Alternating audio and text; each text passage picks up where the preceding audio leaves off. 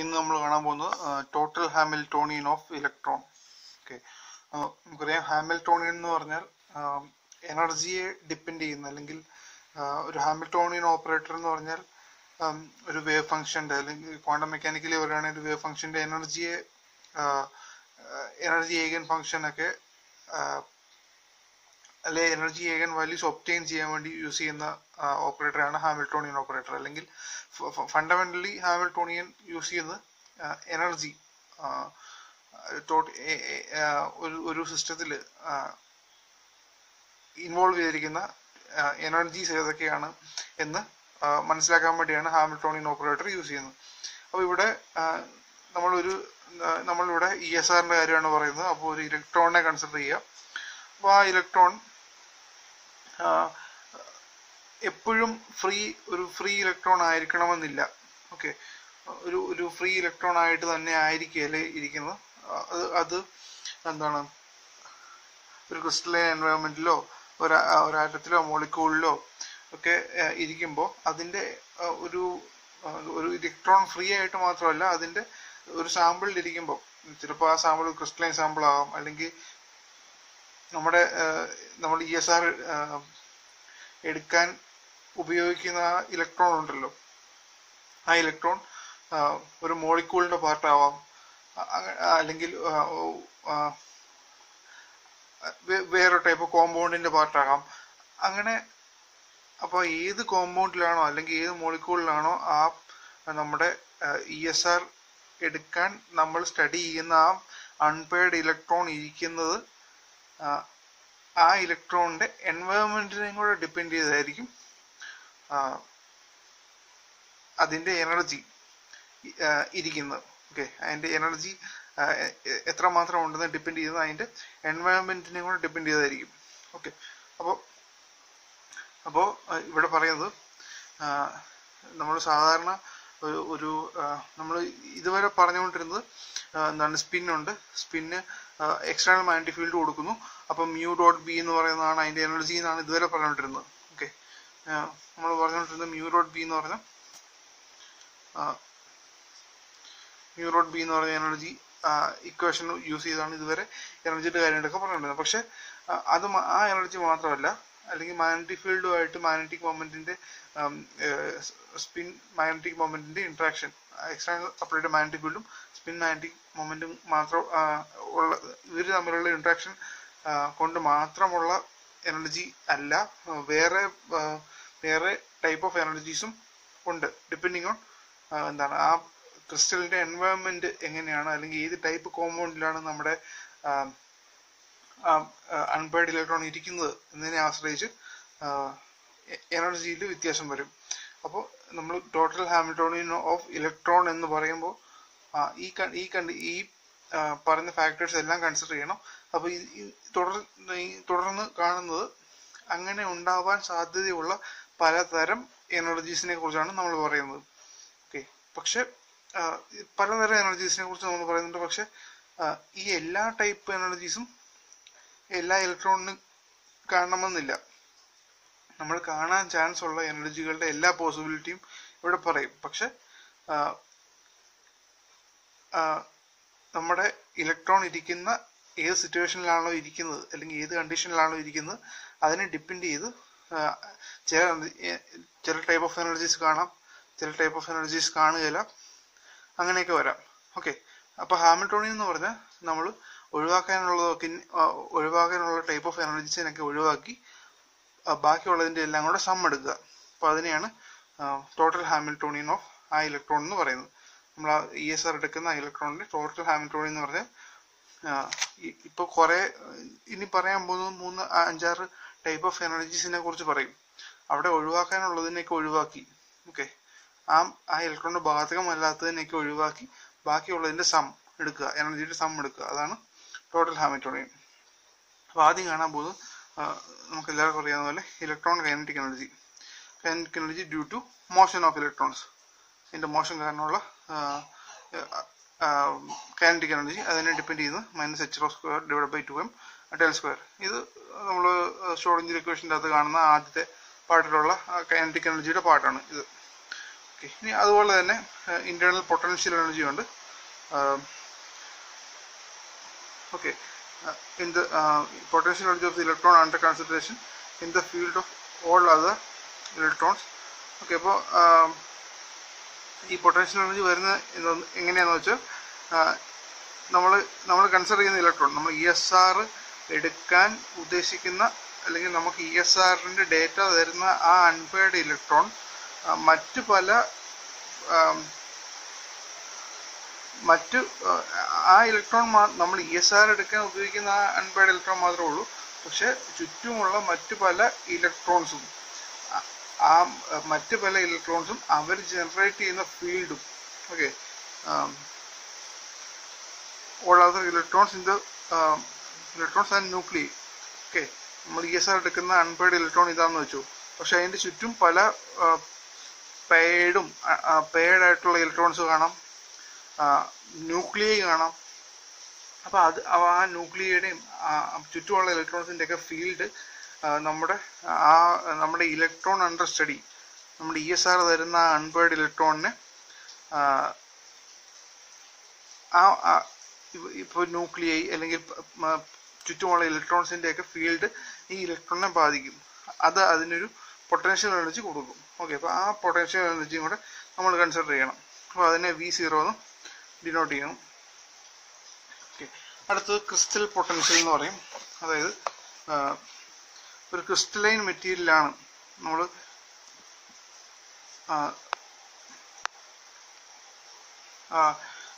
Okay നമ്മുടെ electron ഇരിക്കുന്ന ഒരു ക്രിസ്റ്റലൈൻ എൻവയോൺമെന്റിലാണെങ്കിൽ ഓക്കെ അല്ലെങ്കിൽ നമ്മുടെ സാമ്പിൾ ഒരു ക്രിസ്റ്റലൈൻ മെറ്റീരിയലാണെങ്കിൽ അതിന്റെ electrostatic potential okay electrostatic the electrostatic potential due to uh, all charges surrounding the species of interest has to be അതായത് ഈ ഇലക്ട്രോണിന്റെ ചുറ്റുമുള്ള ഇലക്ട്രോസ്റ്റാറ്റിക് പൊട്ടൻഷ്യലും കൂടെ ക്രിസ്റ്റലൈൻ മെറ്റീരിയലാണ് പ്രത്യേകിച്ചും. ഇലക്ട്രോസ്റ്റാറ്റിക് മെറ്റീരിയലും കൂടെ സോറി പൊട്ടൻഷ്യലും കൂടെ കൺസിഡർ ചെയ്യണം. അപ്പോൾ അതൊരു ഫാക്ടർ അതിനെ വി ക്രിസ്റ്റലൈൻ കൺസിഡർ ചെയ്യുന്നു. ഓക്കെ അപ്പോൾ അതൊരു ഫാക്ടർ ഇനി splitting of energy levels due to this potential is called fine structure splitting okay അപ്പോൾ ഇലക്ട്രോസ്റ്റാറ്റിക് സോറി ക്രിസ്റ്റൽ പൊട്ടൻഷ്യൽ കാരണം ക്രിസ്റ്റൽ പൊട്ടൻഷ്യൽ കാരണം എനർജി ലെവൽസിന് ഉണ്ടാവുന്ന സ്പ്ലിറ്റിംഗ് അതിനെ ഫൈൻ സ്ട്രക്ചർ സ്പ്ലിറ്റിംഗ് എന്ന് പറയും. അതായത് നമ്മൾ എന്തിനാണ് ടോട്ടൽ ഹാമിൽട്ടോണിയൻ പഠിക്കുന്നത് പറഞ്ഞാൽ ഫൈൻ സ്ട്രക്ചർ ഇപ്പോൾ നമ്മളിപ്പോൾ പറഞ്ഞതനുസരിച്ച് നമ്മൾ ഇതുവരെ നമ്മൾ നമ്മൾ പറഞ്ഞതനുസരിച്ച് നമ്മുടെ എനർജി ലെവൽ ഇങ്ങനെ ഇരിക്കുന്നു. മാഗ്നറ്റിക് ഫീൽഡ് കൊടുക്കുന്നു. അത് രണ്ടായിട്ട് സ്പ്ലിറ്റ് ചെയ്യുന്നു. അവർ തമ്മിൽ ട്രാൻസാക്ഷൻ നടക്കുന്നു. ഒരു പീക്ക് കിട്ടുന്നു. ഓക്കെ ഇതാണ് ഈ സാറിൽ ഇതുവരെ പറഞ്ഞത്. പക്ഷേ ഒരു നമ്മൾ ഒരു ഹൈ റെസൊല്യൂഷൻ ഉള്ള ഒരു സ്പെക്ട്രോ സ്പെക്ട്രം എടുത്താൽ ഈ ഒരു പീക്ക് മാത്രമല്ല അതിൽ കൂടുതൽ പീക്കുകൾ ഈ ഒരു പീക്കിൽ തന്നെ പല പല ചെറിയ പീക്കുകളും കാണാൻ സാധിക്കും. അപ്പോൾ അതിനെ എന്താണ് പറയുന്നത്? അതിനെ ഹൈപ്പർ ഫൈൻ സ്ട്രക്ചർ എന്നോ ഫൈൻ സ്ട്രക്ചർ സ്പ്ലിറ്റിംഗ് എന്നോ ഓക്കെ അല്ല ഹൈപ്പർ ഫൈൻ സ്ട്രക്ചർ എന്ന് തന്നെ പറയാം ഓക്കെ അല്ലെങ്കിൽ ഇവിടെ പറഞ്ഞിരിക്കുന്നു ഓക്കെ അല്ലെങ്കിൽ ഫൈൻ സ്ട്രക്ചർ സ്പ്ലിറ്റിംഗ് എന്ന് പറഞ്ഞെന്ന് വിചാരിച്ചു ഓക്കെ അപ്പോൾ അപ്പോൾ ഈ നമ്മൾ ഒരു മേജർ പീക്കിന്റെ അകത്ത് തന്നെ വേറെ പല പീക്കുകൾ കാണുന്നുണ്ട് ഓക്കെ അപ്പോൾ അതിന് കാരണം എന്താണെന്ന് നമുക്കറിയണം. ഒരു ഒരു ഒരു ഒരു ബീക്കിനകത്ത് തന്നെ റെസൊല്യൂഷൻ കൂട്ടിയെടുത്തപ്പോഴത്തേനും ഈ ഒരു പീക്കിനകത്ത് തന്നെ പല പല പീക്കുകൾ കാണുന്നുണ്ട്. അതിൽ കുറേ പീക്കുകളുടെ ഒരു ഒരു സം ഒരു സമ്മാണ് കുറേ പീക്കുകളുടെ ജോയിന്റ് ആയിട്ടുള്ള ഒരു ഇമേജ് ആണ് നമുക്കിവിടെ പീക്കായിട്ട് കിട്ടുന്നത്. അപ്പോൾ അങ്ങനെയാണെങ്കിൽ അതിന്റെ കാരണം എന്താണെന്ന് നമുക്കറിയണം. ഓക്കെ അപ്പോൾ അതിനുവേണ്ടിയാണ് ഈ ടോട്ടൽ ഹാമിൽട്ടോണിയൻ എടുത്ത് നമ്മുടെ മാഗ്നറ്റിക് ഫീൽഡും മാഗ്നറ്റിക് മൊമെന്റും തമ്മിലുള്ള ഇൻട്രാക്ഷനെ കൂടാതെ മറ്റു പല ഇൻട്രാക്ഷൻസും ഉണ്ട്. അപ്പൊ അത് കാരണം ഉണ്ടാവുന്ന ഈ എനർജി ലെവലിൽ ഈ എനർജി ലെവലിൽ പിന്നെ സ്പ്ലിറ്റിങ്ങുകൾ ഉണ്ടാവും. ഓക്കെ ആ സ്പ്ലിറ്റിങ്ങുകൾ ഏതൊക്കെയാണെന്ന് കണ്ടുപിടിച്ച് അവ തമ്മിലുള്ള ട്രാൻസിഷൻ ഏതൊക്കെയാണെന്ന് മനസ്സിലാക്കി ട്രാൻസിഷൻസ് ഏതൊക്കെയാണെന്ന് മനസ്സിലാക്കിയാൽ ഈ ഒരു പീക്കിനകത്ത് തന്നെ പല പല പീക്കുകളുണ്ടെന്ന് പറഞ്ഞില്ലേ? അപ്പോൾ ആ ആ പീക്കിനെ ആ ലൈൻസിനെ കുറിച്ചുള്ള ഇൻഫർമേഷൻ നമുക്ക് കിട്ടത്തുള്ളൂ.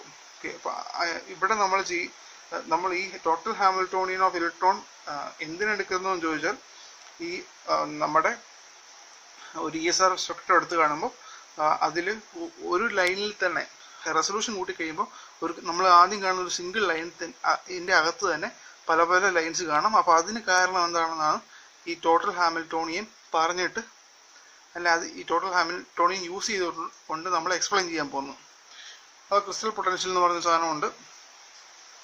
ആ. Okay scored fine second this concentration അല്ലെങ്കിൽ fine this contribution is almost zero in case of free radicals in solution okay ഇപ്പോൾ ഫ്രീ റാഡിക്കൽ ഫ്രീ റാഡിക്കൽസിന്റെ കേസിൽ ഈ ക്രിസ്റ്റൽ പൊട്ടൻഷ്യലിന്റെ ഇൻഫ്ലുവൻസ് വരുന്നില്ല അധികം.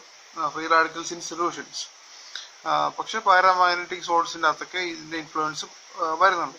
അപ്പോൾ ആദ്യം പറഞ്ഞ പോലെ തന്നെ നമ്മൾ എടുക്കുന്ന സാമ്പിളിന്റെ പ്രോപ്പർട്ടീസ് ഒന്ന് ക്രിസ്റ്റലൈൻ ആവാം അല്ലെങ്കിൽ അതൊരു സൊല്യൂഷൻ ആവാം അല്ലെങ്കിൽ അതിന്റെ എടുക്ക അതിന്റെ അകത്തുള്ള കോമ്പൗണ്ട്സ് എങ്ങനെ ആണ് ഇത് ഇതിനെയൊക്കെ ഡിപ്പെൻഡ് ചെയ്ത് ആണ് ഈ ഈ ടോട്ടൽ ഹാമിൽട്ടോണിയനെ ടോട്ടൽ ഹാമിൽട്ടോണിയിലേക്കുള്ള കോൺട്രിബ്യൂഷൻസ് ഇപ്പോൾ നമ്മളിവിടെ പറഞ്ഞ ഇവിടെ എന്താണ് ഫ്രീ റാഡിക്കൽസിന്റെ കേസിൽ അത് നെഗ്ലിജിബിൾ ആണെന്ന് പറഞ്ഞു. ഓക്കെ അപ്പോൾ ഈ ടോട്ടൽ ഹാമിൽട്ടോണിയൻ എടുക്കുമ്പോൾ ഈ ക്രിസ്റ്റൽ പൊട്ടൻഷ്യലിന്റെ ടൈം അതിന്റെ അത് കാണത്തില്ല. ഓക്കെ അപ്പോൾ അപ്പോൾ ഡിപ്പെൻഡിങ് ഓൺ സാമ്പിൾ അല്ല അതിന്റെ പ്രോപ്പർട്ടീസ് ഹാമിൽട്ടോണിയനിലേക്ക് ഓരോ കാര്യങ്ങൾ ആഡ് ചെയ്തുകൊണ്ടും അല്ലെങ്കിൽ അവിടെ അവിടുന്ന് മാറ്റിക്കൊണ്ടും ഇരിക്കും ഓക്കെ നമ്മൾ ഹാമിൽട്ടോണിൽ അവസാനം എല്ലാ എനർജിയും കൂടെ സമ്മാണല്ലോ എടുക്കുന്നത്. അതുകൊണ്ട്. ഇനി ഇനി electron Zeeman energy electron Zeeman energy എന്ന് പറഞ്ഞാൽ നമ്മൾ നോർമൽ പറയുന്ന കേസ് എന്താണ്? എക്സ്റ്റേണൽ മാഗ്നറ്റിക് ഫീൽഡിനോട് സ്പിന്നിൻ ഇലക്ട്രോണിന്റെ സ്പിന്നിന്റെ മാഗ്നറ്റിക് മൊമെന്റ് ഇന്ററാക്ട് ചെയ്യുന്നു. ഈ സിക്കൽ ടു മ്യൂ ഡോട്ട് ബി എന്ന് പറയുന്ന അതേ കേസ് തന്നെ. ഓക്കെ അതിന്റെ ഇക്വേഷനിൽ നമ്മൾ നേരത്തെ കണ്ടത് തന്നെയാണ്. ഇവിടെ എച്ച് എസ് ബി സ്പിന്നും മാഗ്നറ്റിക് ഫീൽഡും തമ്മിൽ ഇന്ററാക്ട് ചെയ്യുന്നു അതിന് ഹാമിൽട്ടോണിയൻ എച്ച് എസ് ബി എന്നാണ് ഡിനോട്ട് ചെയ്തിരിക്കുന്നത് ഈ മൈനസ് മ്യൂറോ മ്യൂറോഡ് ബി അപ്പം mu magnetic spin moment spin magnetic moment മ്യൂസിന്റെ equation നമുക്കറിയാം. G G mu B S okay ഇത് ഓർബിറ്റൽ ആംഗുലാർ മൊമെന്റത്തിന്റെ എസ് എച്ച് ക്രോസ് എന്നാണ് വരുന്നത്. അപ്പോൾ എച്ച് ക്രോസ് നമ്മൾ മ്യൂ ബിയിലോട്ട് ആഡ് ചെയ്തു. അപ്പോൾ അതുകൊണ്ടാണ് ഓർബിറ്റിൽ sorry spin angular moment sorry spin angular മൊമെന്റത്തിന് S H cross അപ്പോൾ എച്ച് ക്രോസ് മ്യൂ ബിയുടെ കൂടെ ചേർന്നു അപ്പോൾ അതിന് ഗൈറോമാന്റിക് റേഷ്യോ ഗൈറോമാന്റിക് റേഷ്യോയുടെ കൂടെ എച്ച് ക്രോസും കൂടെ ചേർത്ത് മ്യൂ ബി എന്ന് എഴുതി. ജി എന്ന് പറഞ്ഞാൽ Lande splitting factor for electron okay ആ നേരത്തെ കണ്ട ഇക്വേഷൻ തന്നെ. ഇനി nuclear Zeeman energy nuclear Zeeman energy എന്ന് പറഞ്ഞാൽ ആ, nuclear magnetic moment mu I of the nucleus ന്യൂക്ലിയസിന്റെ magnetic എക്സ്റ്റ applied external externally applied magnetic ഫീൽഡുമായിട്ട് interact ചെയ്യുന്നു. അപ്പോൾ with external magnetic field for a single nucleus having spin I spin ഒരു spin value ഉള്ള ഒരു nucleus external magnetic magnetic ഫീൽഡുമായിട്ട് interact ചെയ്യുന്നു നമ്മൾ N M R പറഞ്ഞ പോലത്തെ കേസ് തന്നെ. അപ്പോൾ വരുന്ന equation H I B equal to minus mu I dot B mu ഐയുടെ ഇക്വേഷൻ നമ്മൾ എൻ എം കണ്ട പോലെ G N mu N I dot B okay G N എന്ന് പറഞ്ഞാൽ nuclear G factor mu N എന്ന് പറഞ്ഞാൽ ന്യൂക്ലിയർ മാഗ്നറ്റോൺ ഇതെല്ലാം നമ്മൾ തന്നെ അപ്പോൾ ഇപ്പോൾ ഇലക്ട്രോൺ എക്സ്ട്രാ മാഗ്നറ്റിക് ഫീൽഡ് ഇലക്ട്രോണുമായിട്ട് ഇന്ററാക്ട് ചെയ്യുന്നു. എക്സ്ട്രാ മാഗ്നറ്റിക് ഫീൽഡ് ന്യൂക്ലിയർ സ്പിന്നായിട്ട് ഇൻട്രാക്ട് ചെയ്യുന്നു ഇലക്ട്രോണിക് സ്പിന്നായിട്ട് ഇൻട്രാക്ട് ചെയ്യുന്നു. ഇതിന് രണ്ടിനെ എനർജി ടേംസ് നമ്മൾ കണ്ടു. ഇനി അടുത്തതാണ് ന്യൂക്ലിയസും ന്യൂക്ലിയസും ഇലക്ട്രോണും തമ്മിൽ ഇൻട്രാക്ട് ചെയ്യുന്നു. ഓക്കെ ന്യൂക്ലിയസും അതായത് നമ്മൾ എക്സ്റ്റേണൽ മാഗ്നറ്റിക് ഫീൽഡിന്റെ കൺസെൻട്രേഷൻ അല്ല ഇവിടെ പറയുന്നു ന്യൂക്ലിയസും ഇലക്ട്രോണും തമ്മിലുള്ള ഇൻട്രാക്ഷന്റെ കാര്യമാണ്. Interaction of unpaired unpaired electron with the magnetic moments of the nuclei okay unpaired ഇലക്ട്രോണിന്റെ നമ്മൾ കൺസിഡർ ചെയ്ത അൺപെയ്ഡ് അല്ലെങ്കിൽ അൺപെയ്ഡ് ഇലക്ട്രോണിന്റെ ഇ എസ് ആർ ആണല്ലോ നമ്മൾ കൺസിഡർ ചെയ്യുന്നത്. അപ്പോൾ ആ അൺപെയർഡ് ഇലക്ട്രോണിന്റെ സ്പെക്ട്ര എടുത്ത് കഴിയുമ്പോൾ ഉണ്ടാകുന്ന വ്യത്യാസങ്ങളും ഹൈപ്പർഫൈൻ സ്ട്രക്ചറൊക്കെയാണ് നമുക്ക് അറിയേണ്ടത് അപ്പോൾ ആ അൺപെയർഡ് ഇലക്ട്രോൺ ന്യൂക്ലിയസിന്റെ മാഗ്നറ്റിക് മൂവ്മെന്റുമായിട്ട് ഇന്ററാക്ട് ചെയ്യുമ്പോൾ വരുന്ന എനർജിയിൽ ഉണ്ടാകുന്ന വ്യത്യാസങ്ങൾ. അതാണ് അറിയേണ്ടത്.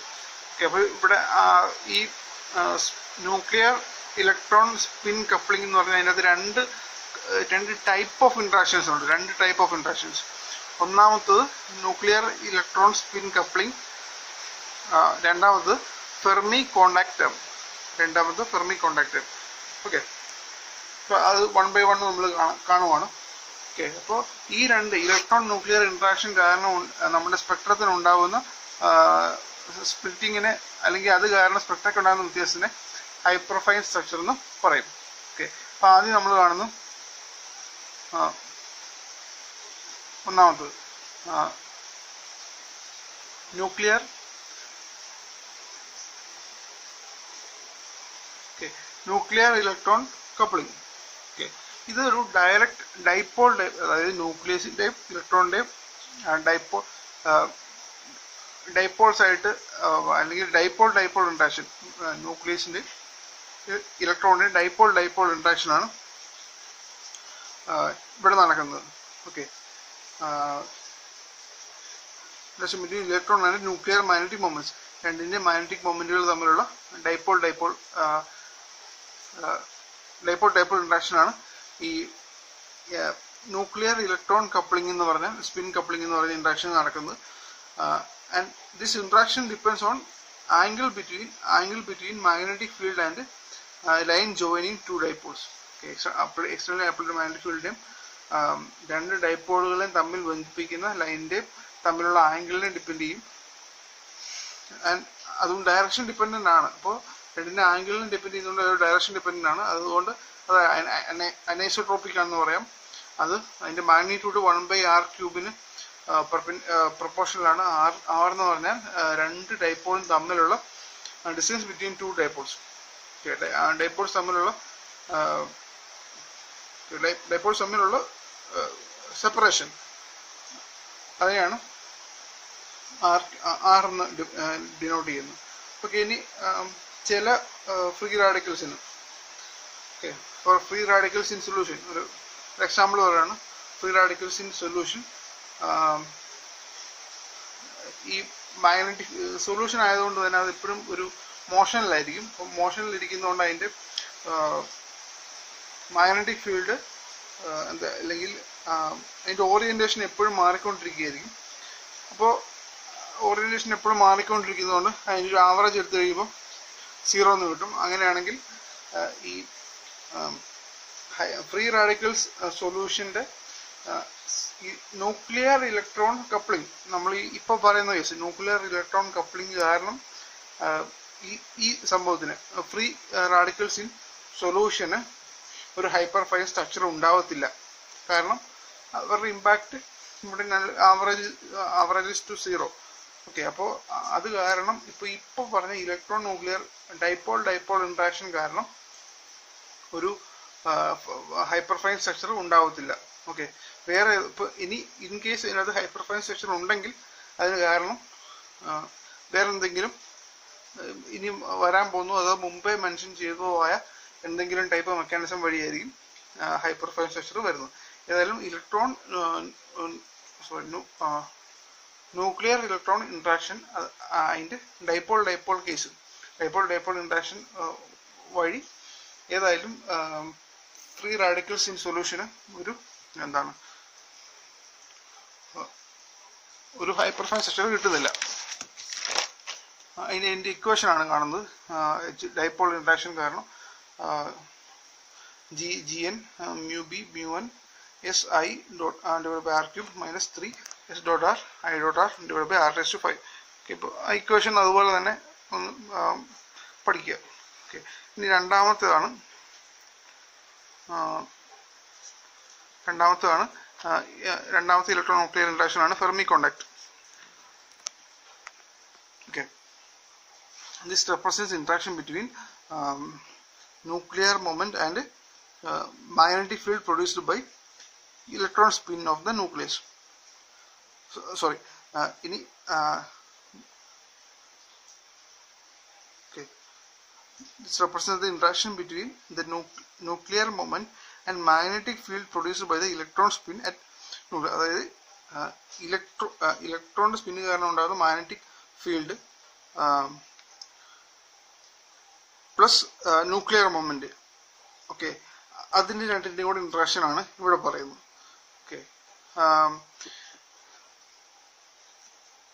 ഓക്കെ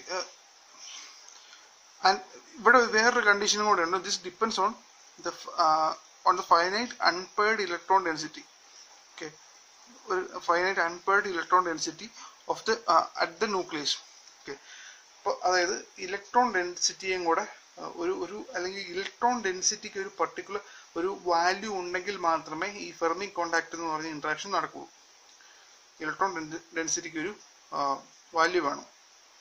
അപ്പോൾ ഈ ഫെർമി കോണ്ടാക്ട് എന്ന് പറഞ്ഞ ഈ കണ്ടീഷൻ സാറ്റിസ്ഫൈ ചെയ്യണമെങ്കിൽ അൺബേർഡ് ഇലക്ട്രോൺ എസ് ഓർബിറ്റിൽ ആയിരിക്കണം. Unpaired electron it's possible S ഓർബിറ്റിൽ ആണെങ്കിൽ മാത്രമേ സാധിക്കുള്ളൂ. കാരണം അതെന്താണെന്ന് വെച്ചാൽ ഇലക്ട്രോൺ ഡെൻസിറ്റി അല്ലെങ്കിൽ ഇലക്ട്രോണിന്റെ പ്രോബിലിറ്റി ഡിസ്ട്രിബ്യൂഷൻ എടുക്കുക. ഇപ്പോൾ ഒരു എസ് ഓർബിറ്റ് ഒരു എസ് എസ് ഓർബിറ്റിലാണെങ്കിൽ ഒരു സ്പെറിക്കൽ ഡിസ്ട്രിബ്യൂഷൻ ആയിരിക്കും. ഇനി പി ഒക്കെ ആണെങ്കിൽ അതിനൊരു ഡംബൽ ഷേപ്പ് ആയിരിക്കും. അപ്പോൾ നമുക്കറിയാം ന്യൂക്ലിയസ് ഇതിന്റെ സെൻട്രലാണ് ഇരിക്കുന്നത്. ഓക്കെ? സെൻട്രലാണ് ഇരിക്കുന്നത്. പക്ഷെ ഈ ഡംബിൾ ഷേപ്പ് നോക്കുക അല്ലെങ്കിൽ ഇനി ഡി ഓർബിറ്റിൽ നോക്കുക ഡബിൾ ഡംബൽ. ഇതൊക്കെ നോക്കിയാലും ഈ ന്യൂക്ലിയസിന്റെ ഇപ്പോൾ ഇവിടെ വരുമ്പോൾ ഈ ന്യൂക്ലിയസിന്റെ ആ പാർട്ടി വരുമ്പോഴത്തേനും ഈ ഡംബൽ അങ്ങ് ചെറുതായി അല്ലെങ്കിൽ ഇലക്ട്രോൺ ഡെൻസിറ്റി അവിടെ ഇല്ല എന്നുള്ളൊരു ഒരു നോഡ് പോലെയാണ് കാണുന്നത്. ഇലക്ട്രോൺ ഡെൻസിറ്റി അവിടെ ഇല്ല. ഇവിടെ ഇത് ഡബിൾ ഡംബൽ ആണെങ്കിലും ഇലക്ട്രോൺ ഡെൻസിറ്റി ആ ന്യൂക്ലിയസിന്റെ ഭാഗ- ഭാഗത്തേക്ക് വരുമ്പോൾ ഇല്ല. അപ്പോൾ ഫെർമി കോണ്ടാക്ട് എന്ന് പറയുന്ന ഈ സിറ്റുവേഷൻ നടക്കണമെങ്കിൽ ഒരു ഇലക്ട്രോൺ ഡെൻസിറ്റിക്ക് ഒരു ഫൈനൈറ്റ് വാല്യൂ വേണം. ഇലക്ട്രോൺ ഡെൻസിറ്റിക്ക് ഒരു ഫൈനൈറ്റ് വാല്യൂ വേണം. അപ്പോൾ ഇലക്ട്രോൺ ഡെൻസിറ്റിക്ക് ഫൈനൈറ്റ് വാല്യൂ കൊടുക്കുന്നത് എസ് എസ് ഓർബിറ്റിൽ സ്പെറിക്കൽ ഷേപ്പ് ഉള്ളത് അല്ലെങ്കിൽ സ്പെറിക്കൽ ഇലക്ട്രോൺ ഡെൻസിറ്റി ഉള്ള എസ് ഓർബിറ്റിൽ ഇലക്ട്രോൺ ഇരുന്നാൽ മാത്രമേ ഈ ഫെർമി കോണ്ടാക്ട് എന്ന് പറഞ്ഞ പ്രോസസ്സ് നടക്കുകയുള്ളൂ അപ്പോൾ അതുവഴി ആ, ഉണ്ടാകുന്ന എനർജിയുടെ ഇക്വേഷൻ അപ്പോൾ ഈ പി എ ഡി എഫ് ഇപ്പൊ പി ഡി എഫ് ഓർബിറ്റൽസിനൊന്നും അല്ലെങ്കിൽ പി ഡി എഫ് ഓർബിറ്റൽസിലാണ് നമ്മുടെ അൺബേർഡ് ഇലക്ട്രോൺ ഇരിക്കുന്നതെങ്കിൽ ഈ ഫെർമി കോണ്ടാക്ട് നടക്കത്തില്ല. പി ഡി എഫിലാണ് നമ്മുടെ അൺബേർഡ് ഇലക്ട്രോൺ ഇരിക്കുന്നതെങ്കിൽ ഇ എസ് ആർ എടുക്കുമ്പോൾ ഉള്ള അൺബേർഡ് ഇലക്ട്രോൺ ഇരിക്കുന്നതെങ്കിൽ ഈ ഫെർമി കോണ്ടാക്ട് നടക്കത്തില്ല. ഓക്കെ അപ്പോൾ ഈ കേസിൽ പി ഡി ഒക്കെ കേസിൽ ഇപ്പോൾ നമ്മൾ ഹൈപ്പർ ഫൈൻ സ്ട്രക്ചർ കാണുന്നുണ്ടെങ്കിൽ അതിന്റെ കാരണം തൊട്ട് മുമ്പ് പറഞ്ഞ ഡൈപ്പോൾ ഡൈപ്പോൾ ഇൻട്രാക്ഷൻ ആയിരിക്കാം. ഓക്കെ എസ് ഓർബിറ്റിലാണെങ്കിൽ മാത്രമേ ഈ ഫെർമി കോണ്ടാക്ട് എന്ന് പറഞ്ഞ പ്രോസസ്സ് നടക്കുകയുള്ളൂ ഓക്കെ അപ്പോൾ ഇത് ഇത് വേണമെങ്കിൽ ഈ ഡൈപ്പോൾ ഡൈപ്പോൾ ഇൻട്രാക്ഷനും ഫെർമി കോണ്ടാക്റ്റും തമ്മിൽ ഒന്ന് കമ്പയർ ചെയ്യാൻ ചിലപ്പോൾ ചോദിക്കാം. അപ്പോൾ energy equation H Fermi contact energy is two eight three G G N mu B B sorry mu B mu N psi zero square S dot I U two A okay ഇപ്പോൾ ഇതിനെല്ലാം കൂടെ constant എന്ന് വിളിച്ചു. അതിനെ hyperfine splitting constant എന്നാണ് പറയുന്നത്. Hyperfine splitting constant it's two S into I E N substitute ചെയ്തു.